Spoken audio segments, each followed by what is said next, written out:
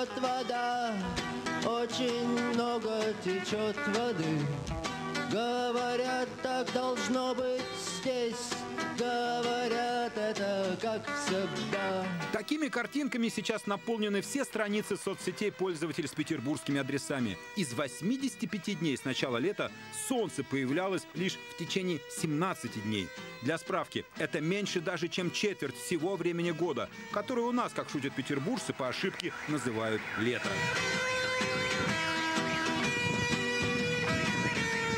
На самом деле был эпический, просто библейский, как во времена Ноя. Даже для нас это было что-то из ряда вон выходящее.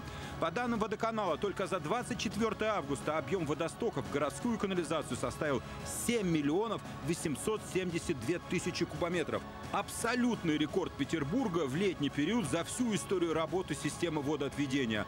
Раньше этот рекорд был зафиксирован в 2016, 6 июля. Но тогда объем дождевых стоков составил всего какие-то жалкие 6,9 миллионов кубометров.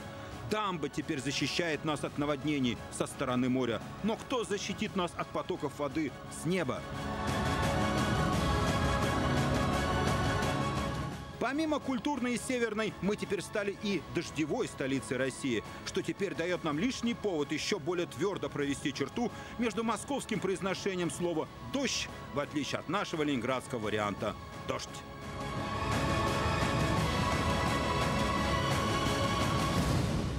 Вот для кого слово «дождь» — это слово из другого мира или стихии, так это метростроители. Они живут в другом измерении. И даже скорость они определяют не метрами, а миллиметрами.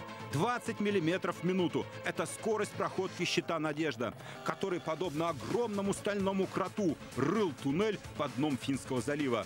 5 километров 200 метров за два года. И вот в пятницу в 6.45 утра две станции метро соединились одним тоннелем. Вот кадры, на которых зафиксирован момент, когда щит проходит последний метр.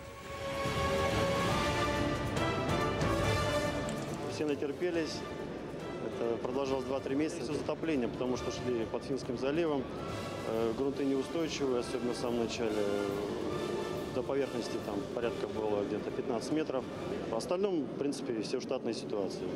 Впервые линия метрополитена соединила два острова с материковой частью города. И впервые в скором будущем пассажиры поедут в поездах метро под Финским заливом. Сложнейшая операция завершена.